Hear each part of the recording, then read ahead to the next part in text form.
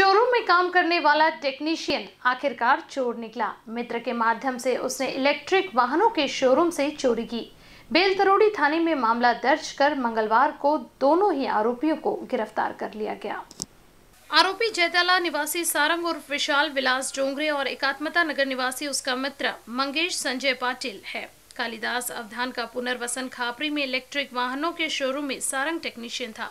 Showroom की चाबी सारंग के पास रहती थी, इसकी जानकारी उसने मित्र मंगेश को दी। इसके बाद 10 से 26 जून के बीच में दोनों शोरूम से इलेक्ट्रिक वाहनों की बैटरी, सात नग और दो नग चार्जर आदि मिलाकर कुल दो लाख दस हज़ार रुपए के माल चुरा कर ले गए। कलिंदा सदाशिव खापरी बॅटरी शॉपचं दुकान आहे, खापरी पुनर्वसन आणि त्या बॅटरी शॉपच्या दुकानात त्या नेहमी येत नसत का त्या एका व्यक्ती आहे त्याचं नाव आहे सारंग उर्फ यश विलास डोंगरे. त्याच्याजवळ त्याची चावी असायची तो त्यांच्याकडे कामगार म्हणून राहत होता.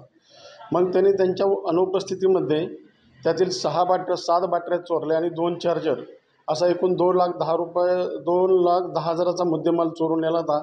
हा काळात त्याने सहाव्या महिन्यात दहा सहा दोन हजार बावीस ते सव्वीस सहा दोन हज़ार बावीस या सोळा दिवसाच्या कार्यकालामध्ये हा त्यांनी चोरून नेलेले सात बॅटरी आणि चार्जर आहेत. तर त्यांनी फिर्याद दिल्यानंतर आम्ही बातमीदारातर्फे माहिती काढून तो आरोपी मिळून आला आणि त्यांनी ते बॅटऱ्या मंगेश, संजयराव ठाकरे त्याची विल्हेवाट लावण्यासाठी त्याला दिलेली होती. त्या दोघांच्याकडून आम्ही सात बॅटऱ्या चार्जर असा एकूण दोन लाख दहा हज़ार रुपयाचा मुद्देमाल जप्त करण्यात आलेला आहे.